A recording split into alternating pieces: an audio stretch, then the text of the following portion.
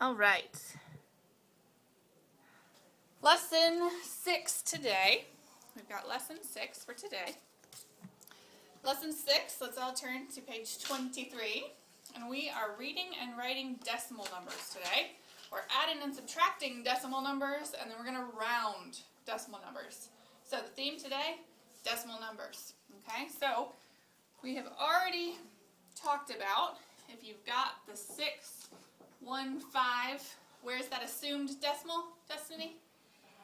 Behind the 5, okay? So if it's not there, we always assume it's at the very, very end, right?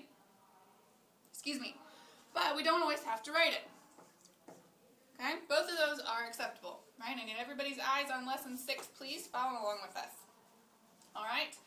So, these both mean the same thing, all right? Jamaica, will you read us that first full paragraph? Starts with some numbers have digits. some numbers have digits to the right of the decimal point. When often we often call these numbers decimal numbers. Some people call these numbers decimal fractions because they can be written as whole numbers divided by 10, 100, 10,000, or some other multiple of 10 as shown here. Good. So 61.23. Another way to write that is 6123 over 100 because when we divide that by 100 it becomes 61.23. Alright? We're going to just refer to them as decimal numbers, not parts of fractions or anything like that. So this will always be acceptable. Okay? Alright, alright. Alright.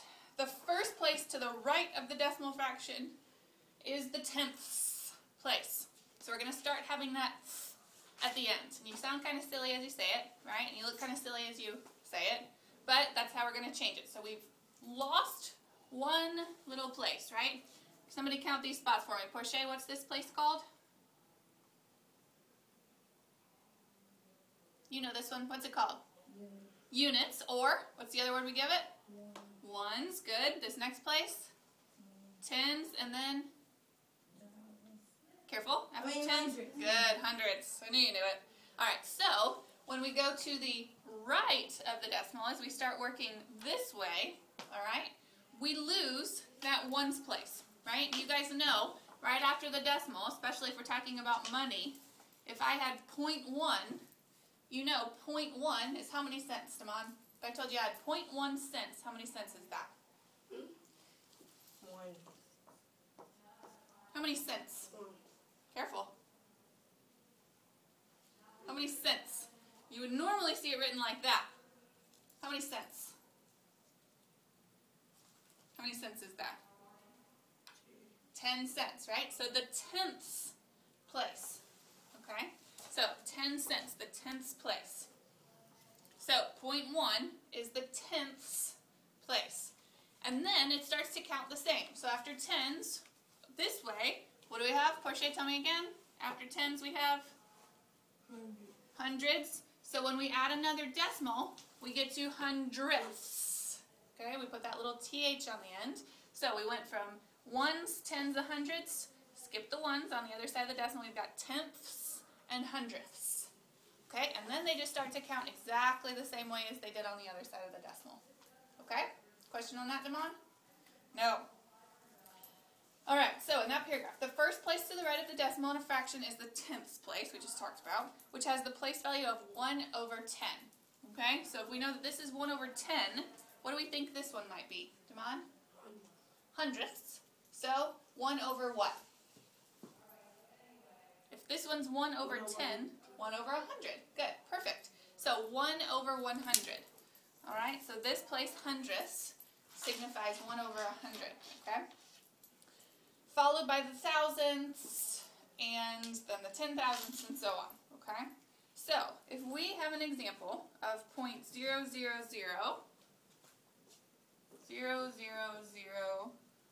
6724, right?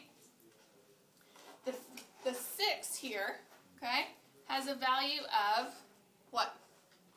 Portia, what's our 6 have a value of here? I know, I'm calling on you. Mm-hmm. What does this 6 have a value of? Okay, so we said this one right here mm-hmm. is 1 over 10. This 2 is 2 over 100. What is this 6? 6. Good. 6 over 1,000. Beautiful. 6 over, oh, careful. If this is 10, 100, 1,000, 10,000. 10,000. So it gets an extra zero because of the missing of the ones digit after the decimal, right? We've never had that. We'll never get it. That's how they decided to set up the math, just to confuse us, right? All right. So the 6 has a 1 over 10,000 value, okay? 6 ten thousandths. It's in the ten thousandths place, so that's what it means, okay? And when a whole number does not precede the decimal, like we have here, so when we don't have anything but a 0 over here, all right, a 0 is placed before the decimal point. So when we write our decimals, we're going to write 0 point our decimal, okay? All right. We've gotten to our chart there, if everyone can take a look at their chart. All right, this will be helpful for you for the first couple days, and then we got to memorize it. I don't want you to always have to turn back to this, but if you need to practice turning back, that's fine for now, okay? So let's review. We've got our decimal, and to the left of the decimal, I think you guys are good, but to the right of the decimal. Damon, give me the first place to the right of the decimal. 2. Tenths. Then what, Jamaica? Hundredths. Good. Then Destiny? Thousands. Good. Then Portia? Huh? After thousandths, we've got, We got 10,000. good, ten thousandths. Make sure you emphasize with your tongue. That's at the end, okay? And then after ten thousandths, Damon, what do we have? Then Jamaica? Millionths. Millionths. Good. And ten millionths, and hundred millionths, and then billionths, and so on. Okay? We counted up the same, or count it down the same way we counted it up, minus that one little missing one spot. Okay? So, I think you guys got that. So, at the very bottom of our page, we're talking about reading a decimal number. Okay? You guys already know our keyword for that little point is what? What's our keyword? Destiny, do you remember? And I hear it. All right, so there's our and. So that's the first thing. All right, we begin on the left hand, end. So we'll start over here and work our way to the right. Okay? So you guys know how to name the number before the decimal. That's going to stay exactly the same.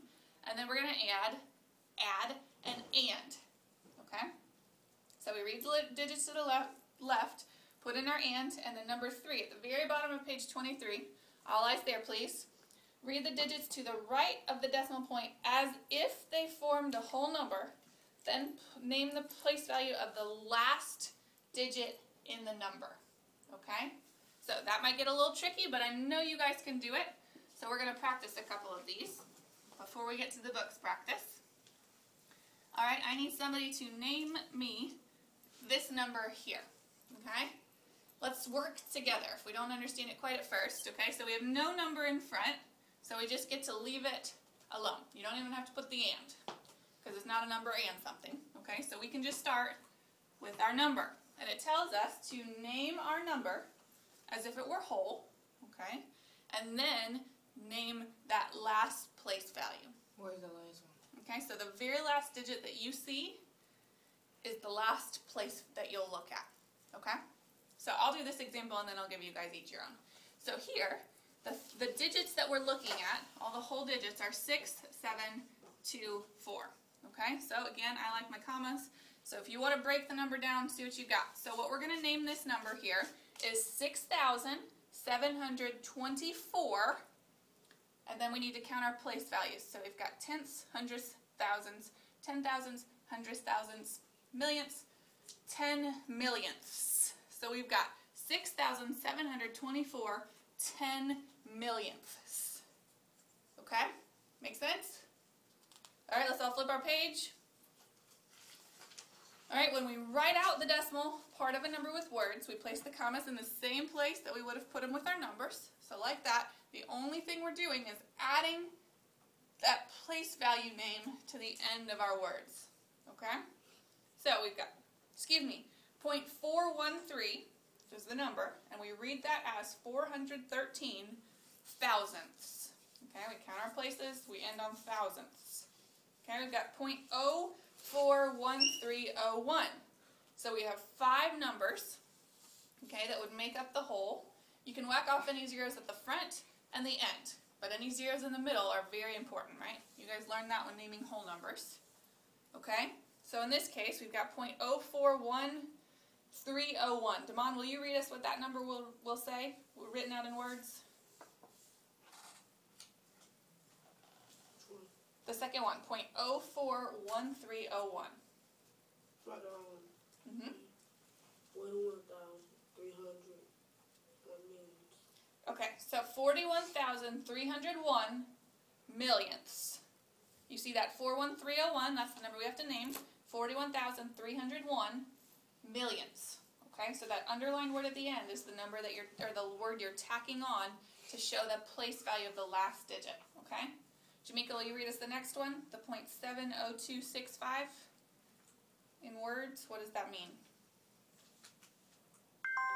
Seventy thousand two hundred sixty-five hundred dollars.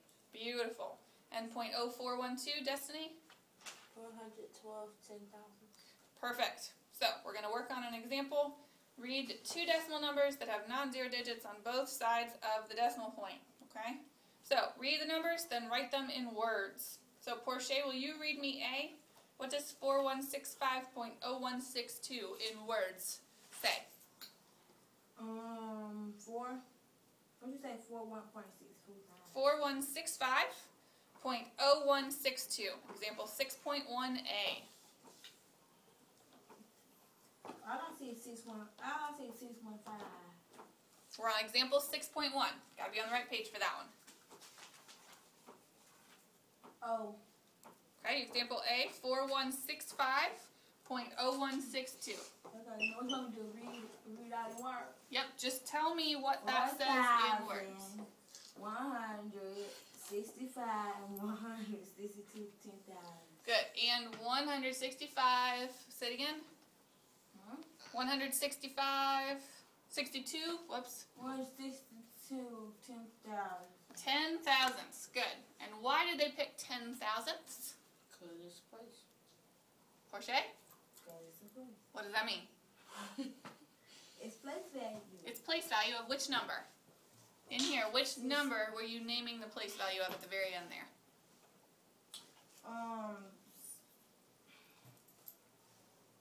The six. The six, got- I think. Okay, let's figure it out. Whoops. Oh, it's not up there. Which one, the very last word you told me, or hyphenated set of words, was 10 thousandths. So when you're talking about 10 thousandths, which place value, or which digit up here is in the 10 thousandths place? We can figure it out, right? From our decimal, what comes next? Mm-hmm. What comes next? Oh, the one decimal? Isn't. The one is the ten thousand. Okay, we're gonna figure it out. The two is really the ten thousand. The two. All right, so let's name these spots. What's the zero? What spot is the zero in? Thousand. Careful, right next to the decimal, what do you have? Parenthesis. Tenths. Then, Hundred. then, Thousand. then, Ten thousand. ten thousandths. So the two is our ten thousandths, right? So we're gonna name the the last words we're gonna say are the last digit of our decimal. Okay? So B, come on, we're back to you for B. Will you name me that number? Six point one B. This one didn't go. Audition. Been going in around. Yep. It is. Your turn. Seven one zero eight zero zero zero point two one five seven eight. How do we say that word? That number. Okay. 21, 178,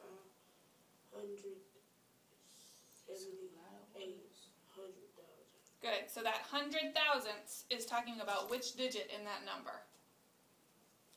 Which digit is hundred thousandths? Good. The eight at the very end because we give the name to the last space that we have after the decimal. Okay? I'm just asking you that to reiterate what that space is that we want to make sure we name. Okay? So to write a decimal number using digits and a decimal point, Number one, Jamaica, read us number one.